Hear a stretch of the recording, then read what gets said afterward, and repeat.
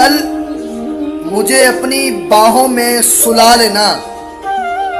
मुर्शद, आँख खुले तो उठा देना ना खुले तो दफना देना।